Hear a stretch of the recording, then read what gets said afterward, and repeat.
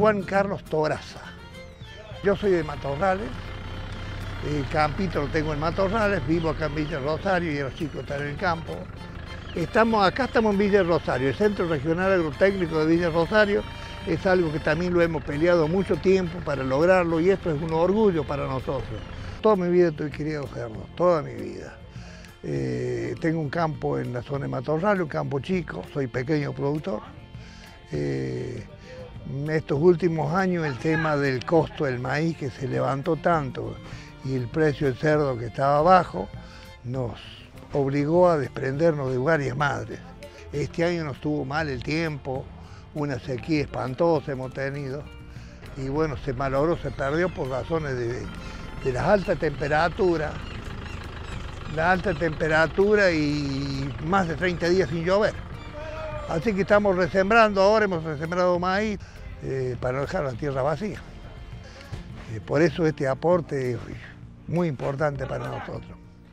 Yo soy Clarisa Mensa, soy coordinadora de la región centro de la Secretaría de Agricultura Familiar Campesina e Indígena eh, de Nación, Delegación Córdoba.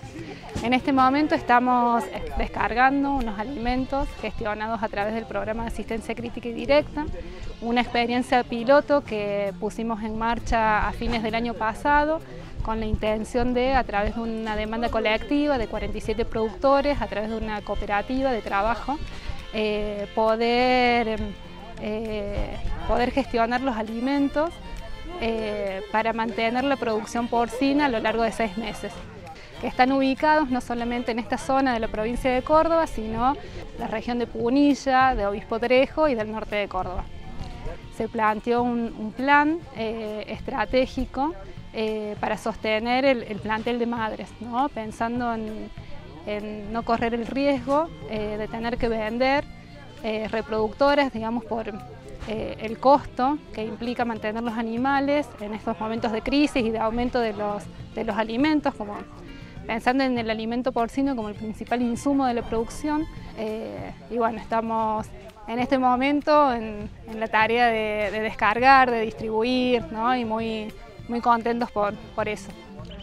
Es muy bueno Vamos a llegar a desarrollar toda esa cachorrada que tenemos, la vamos, la vamos a llegar a, terminarla para, para ir ya a faena. Toda la vida luché por las cooperativas, toda la vida peleé por el cambio rural y esto, por ejemplo, es un alivio. Es un alivio porque acá no somos cinco o seis productores acá, que esto nos viene a ayudar a seguir adelante.